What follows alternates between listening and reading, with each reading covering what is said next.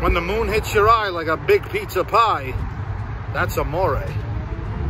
Let's go eat. One thing's for sure, Amore's is not being hampered by the indoor dining ban. I can assure you of that, judging by that flock of customers uh, lining up to get Amore's pizza. Now, from the outside, the place is basically very ordinary looking, tucked among all these other restaurants and stores in this shopping plaza. How extraordinary is their pizza? We're here to find out, guys. Two slices, two slices, cash only. You know this place is serious about their pizza when they state that they only accept cash only. So uh, that's always a good sign. Let's see what we're in for, guys. Amores. Slices are smaller than I thought.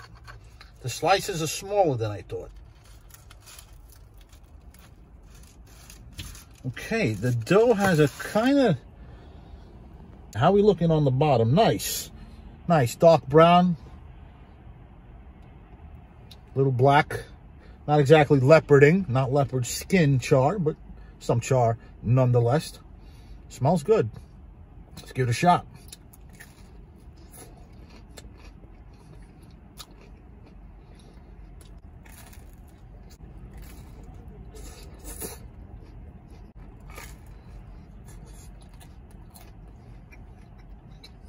All right, guys, I made up my mind. This is the type of pizza where you take one bite and you make up your mind. But I got to talk about it first. Well, let's start with the crust. That's where I always go to first when talking about a pizza because let's face it, guys, the foundation of every pizza is its foundation. No pun intended. I like the crisp, all right? The pizza had some really good crisp. First bite to last. I must say, that's some pretty good cheese on there. Never once did I have to reach for a napkin. My hands are clean. Clean. Look at that. Look at that. It should be a hand model. A nice and crispy first bite to last.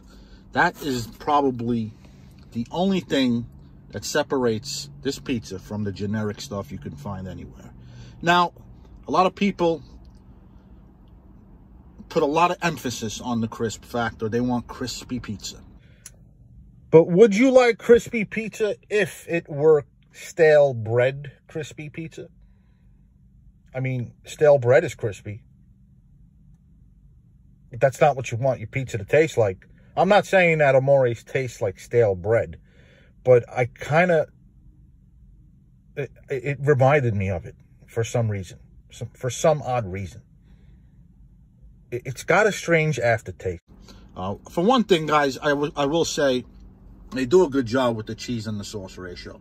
When you can see the sauce underneath the cheese, that's always good. That means the cheese to sauce ratio is spot on.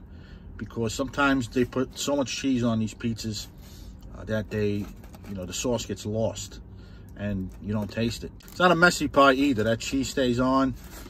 When you separate the slices, nothing trailed away, no cheese trailed off. I got them piping hot. So uh, it's, it's a pretty neat pie, pretty neat composed. I give it that. So plus there, but will it crack the eight mark? Will it crack the eight mark? I like my pizza with some oregano on it. Not even a hint of herb on this thing. Nothing. No oregano. New York slice. Come on. You know, I had Louie and Ernie's today. Go check out my Louie and Ernie's review. Or should I say Louie and Ernie's. That pizza was spiced. It was nice and salty. There was a lot of hard cheese blended into that mutz. Not the case here, guys. Not the case. Sauce a little bit on the sweet side. Not exactly pulpy. But on the bright side, guys, uh, it's not a dry pizza at all. Good amount of sauce on this thing for a New York slice. Which, uh, you know, they're known to be mostly cheese pizzas. New York pizzas are... Uh, the, the cheese takes the front seat, you know? And very often the sauce gets overlooked on a New York pie. Not the case. Not the case here with the Amore's pie. Pizza is far from pale. Therefore, we move it up the scale. Pizza gets cold, we give it another fold.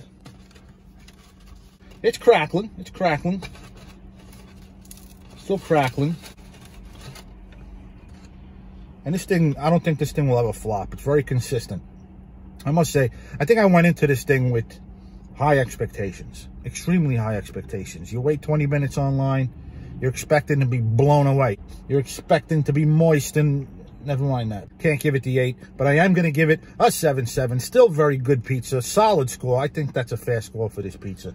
I think it's a fair score. I'm thinking of all the other slices I ate before this, guys. Right now, through my head, the files are just flipping through the Rolodex. Be well, guys. Like, sub, hit that bell so you can watch my videos as soon as they drop. Until next time, this is Antonio signing off.